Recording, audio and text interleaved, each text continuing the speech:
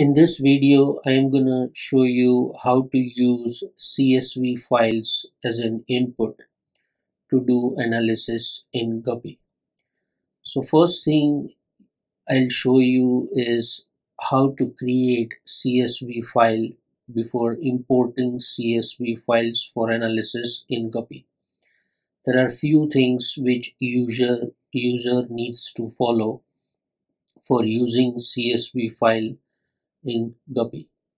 So let me show you uh, how to make CSV files for importing them or for using them in the analysis in Guppy.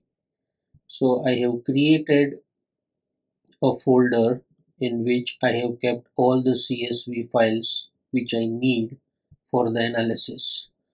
So each CSV file has data for each channel and each event that that were recorded in the recording session. So DV1A, DV2A, DV3B, DV4B, these four are signal and control channels. So DV1A and DV2A are control and signal recorded in one side of the brain and DV3B and DV4B are control and signal channels recorded in another side of the brain. So when I open these files, I'll show you how they are structured.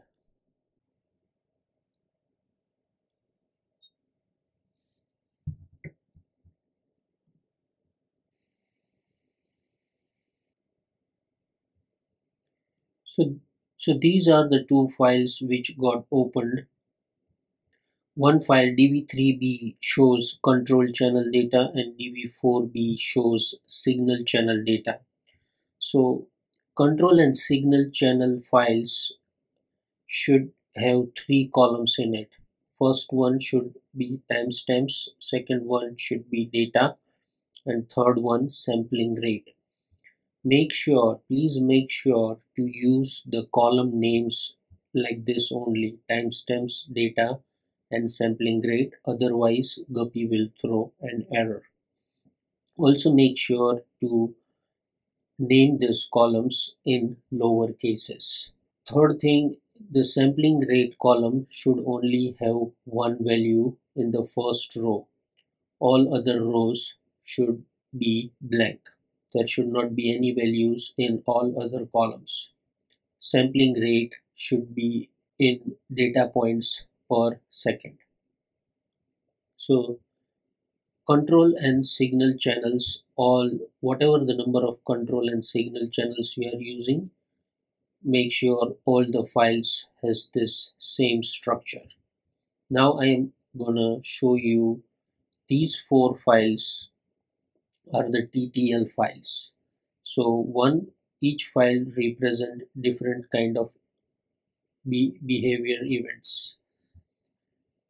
So I'm going to open any one of them and show you how's the structure of the behavior event file should be.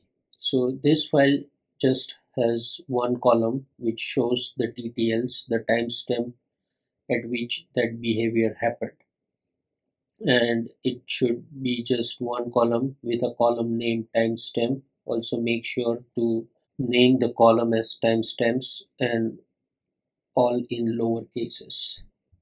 So now I'll select this same folder in the guppy and show you how to run the analysis using uh, CSV files. So I'll navigate to the folder which I want to select. I'll move it to the right. I'll keep all other parameters as default. Or you, you can even change it if you want but right now I'm keeping it as default.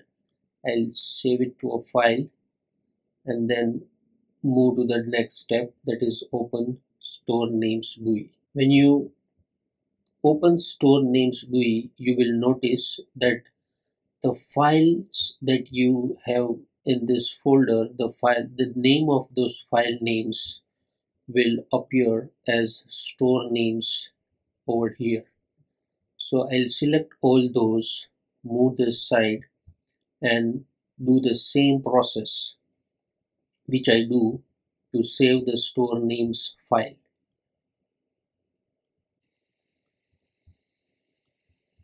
and I'll check cross check that everything I saved is correct I'll save it to a new file and save the store's name file. I'll close this window and run the third step which is read raw data. So now in this step if you see it will the guppy tool will realize that we are not using TDT files. And that's why it will try to read the CSV file. And it will read all the file read all the raw data and save it to an output folder.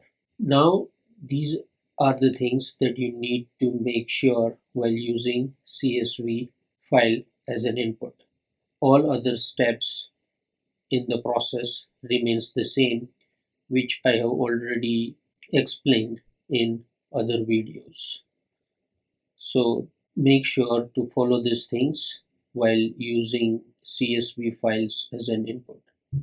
So that's all. Thank you.